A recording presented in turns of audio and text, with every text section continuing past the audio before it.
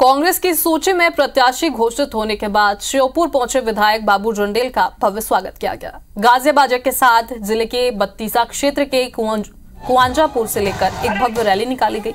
श्योपुर पहुँचे रैली में बापू चंडेल और चुनाव प्रभारी गोपाल तिवारी ने रामतलाई हनुमान मंदिर में दर्शन कर पूजा अर्चना की। रैली से बाहर जाकर बापू चंडेल ने भाजपा के प्रदेश उपाध्यक्ष ब्रजराज सिंह के पैर छुकर आशीर्वाद भी लिए और आशीर्वाद मांगा और ब्रजराज ने आशीर्वाद के बदले बाबू चंडेल के हाथ में फूल दे दिया। इसके बाद बाबू चंडेल ने गांधी पार्क पहुंचकर गांधी प्रतिमा पर माल्यार्पण किया। रैली का समापन बड़ौदा रोड विधायक कार्यालय पर किया गया।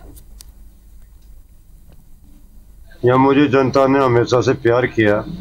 इनका आशीर्वाद और प्रेम से मुझे दोबारा पार्टी ने वरिष्ठ नेतृत्व ने मुझे टिकट दिया। इसके लिए मैं जनता को बहुत बहुत धन्यवाद और बधाई देता हूँ।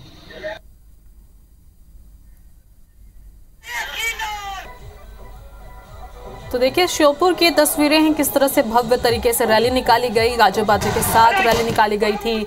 जोरदार स्वागत कार्यकर्ताओं ने यहाँ पर किया है। और कई संख्या में, सैकड़ों की संख्या में कार्यकर्ता आपको दिखाई दे रहे हैं। कांग्रेस प्रत्याशी ने भाजपा के प्रदेश उपाध्यक्ष से इस दौरान आशीर्वाद भी मांगा और बदले में उन्होंने उसे फूल भी दिया।